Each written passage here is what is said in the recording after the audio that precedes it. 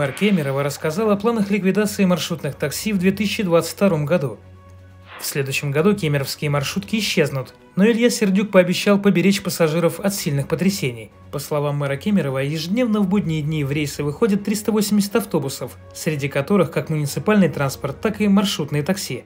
Такая система сложилась несколько десятилетий назад, но три года назад мы стояли у определенной черты, когда выпуск автотранспорта на линию достигал катастрофической низкой величины, менее 80%.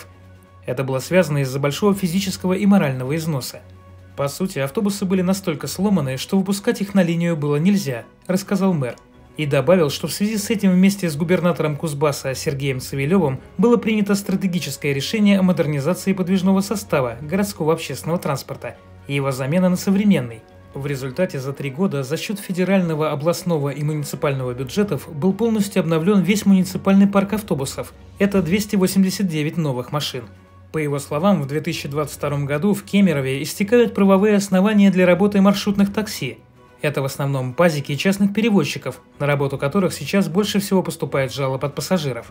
Тем не менее, маршрутные такси сегодня выполняют значительную часть транспортной работы – и чтобы последний этап модернизации прошел как можно мягче, мы предложили частным перевозчикам перейти на новый тип автобусов, такие же удобные, как и нынешний муниципальный парк, написал мэр.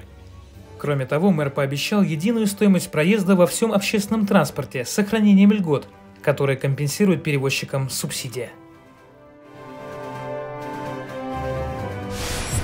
Мурманск вошел в топ-20 регионов по качеству общественного транспорта – Мурманск занял 19 место в рейтинге регионов по качеству общественного транспорта в 2021 году. Анализ данных 76 российских городов был произведен компанией Симетра. При этом в рейтинг не были включены такие крупные города, как Москва и Санкт-Петербург. Качество транспортного обслуживания оценивалось по пяти группам показателей – физическая доступность, ценовая доступность, эффективность транспортной системы, комфорт и удобство, безопасность и устойчивость развития – на основании этих показателей определялся общий рейтинг городов. Мурманск впервые попал в данный рейтинг и сразу набрал 62 балла, что помогло ему закрепиться на 19 строчке. Согласно данным исследования, суточный пассажиропоток в Мурманске составляет 137 тысяч человек.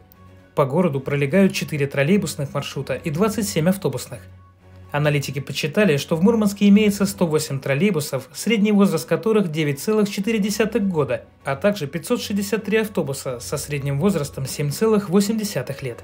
При этом доля транспортных средств большой вместимости достигла 56%, а доля транспортных средств с наличием низкого пола – 20%.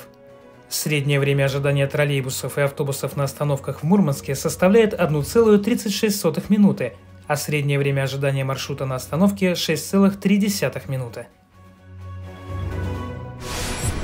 В Ярославле три маршрута общественного транспорта усилят дополнительными автобусами. В правительстве Ярославской области сообщили, что на маршруты, которые обслуживает перевозчик Гирфтранс, выйдут 8 автобусов. 13 декабря дополнительный транспорт появится на маршрутах номер 65 и 49, а 15 декабря на маршруте номер 32.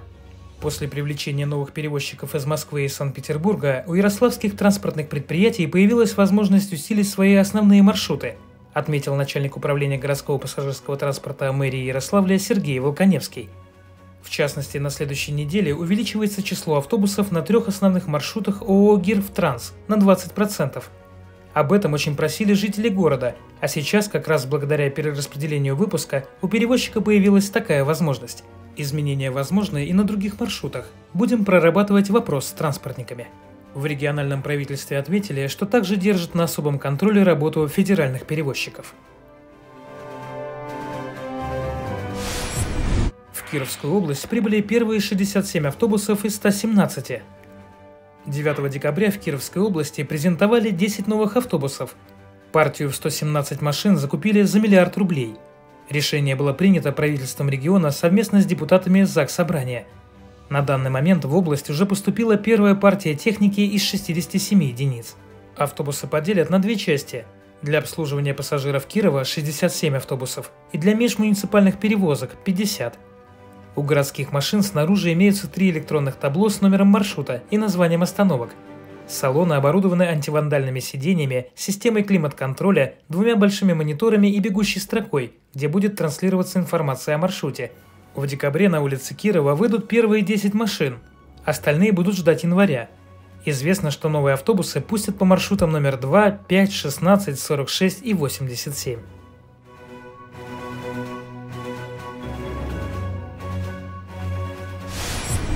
Казанском метро начали курсировать новогодние поезда.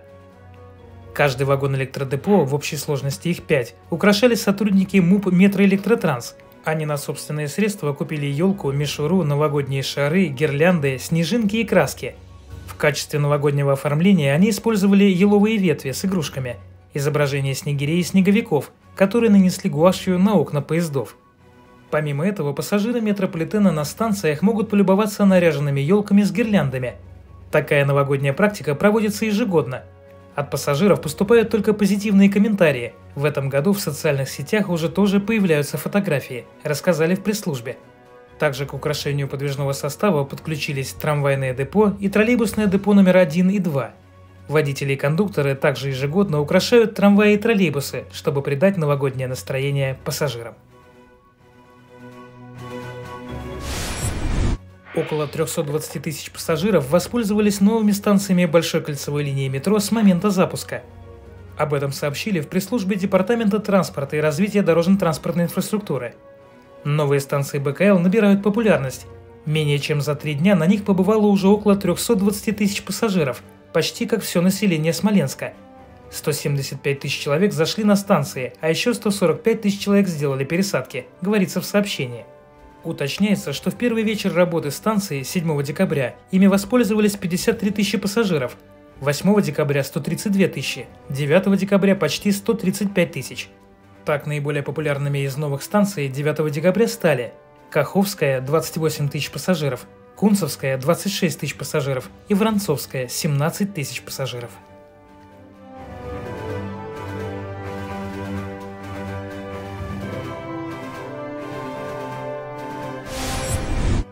В Новокузнецке обновят парк городского транспорта. Более 3 миллиардов рублей из федерального бюджета выделят на обновление автопарка в южной столице. Закуплена партия экологичного транспорта – 19 троллейбусов и 20 трамваев. Транспорт отвечает всем современным требованиям комфорта. Электробусы с динамической зарядкой с увеличенным автономным ходом, вне зависимости от погодных условий, они могут пройти до 60 километров.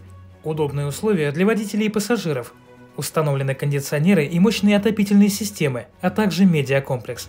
Также в новом подвижном составе присутствуют датчики подсчета пассажиропотока. Уже в середине января машины выйдут на маршруты.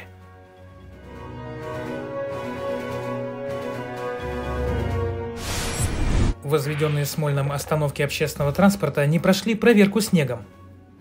Остановки общественного транспорта не выдержали обильных снегопадов, пришедших в Санкт-Петербург вместе с циклонами Бенедикт и Даниэль. Из-за 40-сантиметрового слоя снега и, видимо, недостаточной прочности конструкции, крыша нескольких павильонов провалилась.